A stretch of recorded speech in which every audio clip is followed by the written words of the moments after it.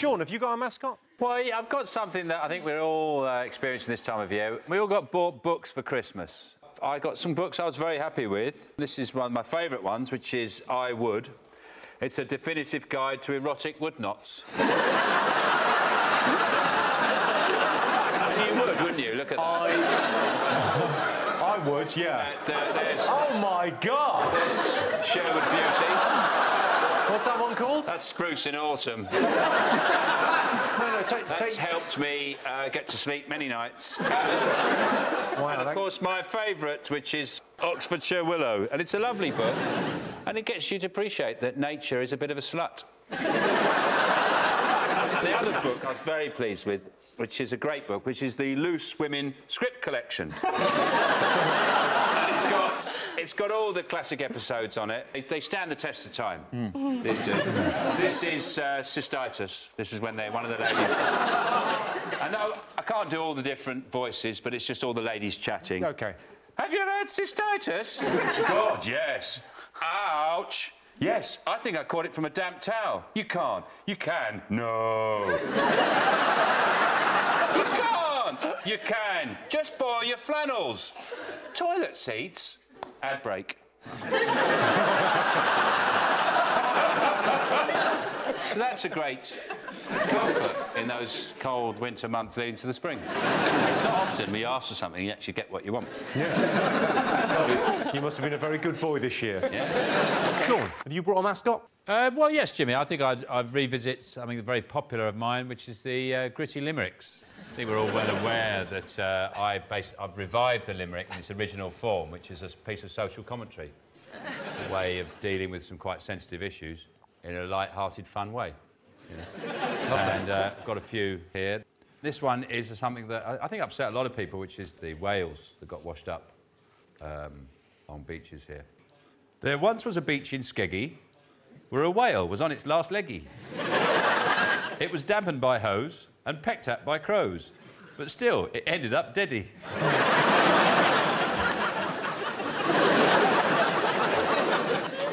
this one's about an issue that's uh, obviously in the news a lot. Only the other day was uh, ob- obesity amongst children. Our kids, they're all getting fatter from eating food that's covered in batter.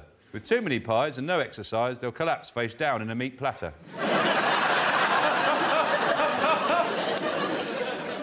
And, uh, you know, something we've all got to deal with. Um, OK, this one. It was a troubling start to the year for celebrities who are no longer here. With tears in our eyes, they were falling like flies. But sadly, no one from Top Gear.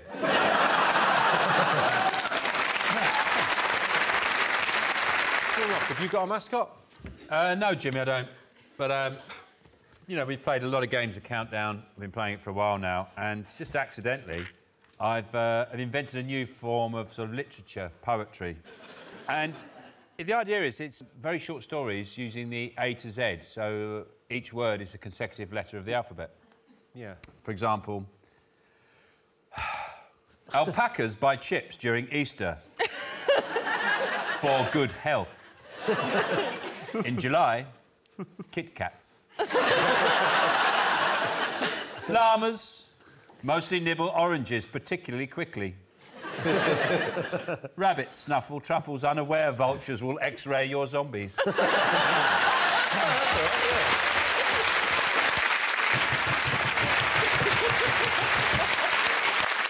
Here's another one. Very proud of this one. A bear cub daily eats five gorillas. However, in July, kippers look more nutritious. Once, Pauline Quirk reputedly said, Tickle ladders vibrate wattles, explode your zip. Sean, have you got a mascot? Of course I have, Jimmy. When have I ever let you down? Um, so, I said to my uh, one of my kids, they were asking me for a word. I said, look it up in the dictionary. And she went, you must be joking.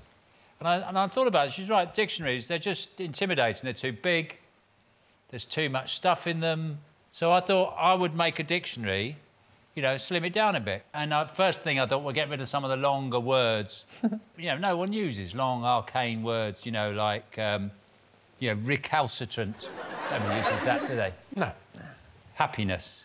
That's gone. Holiday. When was the last time you said, you said I was going on a holiday? It. We don't need it. Out. Passport, sunstroke, paella. Fuck off. but the other thing I realised about dictionaries is not only are they, uh, are they too big, they're also boring. Go, oh, oh what, what word am I looking for? I don't know. Um, think of a word. Uh, abacus. Abacus, yeah. So abacus, you go. A, it's easy, isn't it? A, B. You're there. You're in. You know. So what I've done, I've created Sean Lock's difficult dictionary. You know, it's tough. It's hard. It's 9.99. this dictionary is so difficult. I guarantee you'll never use it. That's from Alan Shearer. He had a go on it. he really struggled. so what I do is, rather than um, you find the word from the first letter of the word, you find it from the fourth. so countdown would be under N. C O U very N. good. N. Very good. Yeah. All right, Susie, that's your go. You've had your go now. so unsuitable, John. Uh, you.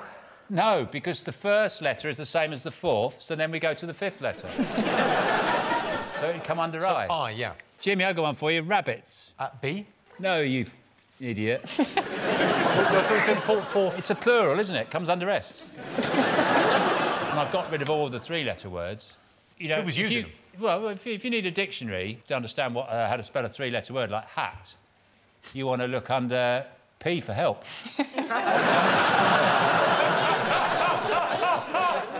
all this has been leading to that joke, basically. All of this. um, croissant. Anyone? Croissant. Anyone? I for croissant. No, it's under E for baked goods. Biscuits, anyone? S. E for baked goods again. Yeah. But baked goods is a plural. Eh? Baked goods is a plural, so it should be on Well, the I F. knew I would fucking bump into you. so uh, there we go. I'm more And- intrigued by the fact you thought we didn't need the word passport anymore, but you've kept abacus. I haven't. I haven't. There's actually literally nothing in here.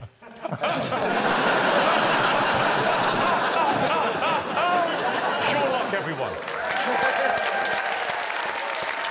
Sean, have you got a mascot?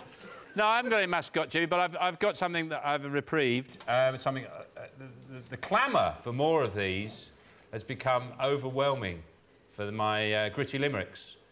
Oh. Since I pointed out the limerick was originally written as a sort of topical, uh, sort of social comment, really, so then they became sort of uh, like light-hearted, saucy postcard type jokes.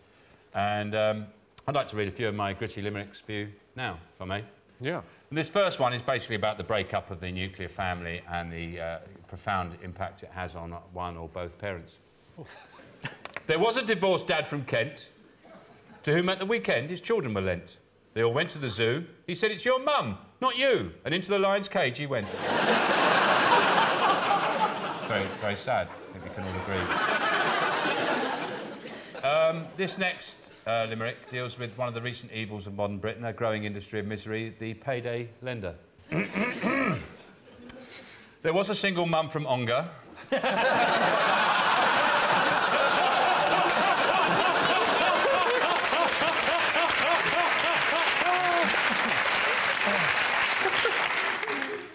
I can finish. Who, for money, relied upon Wonga. The cash she'll spent at 4,000%, and now a home, she has no longer.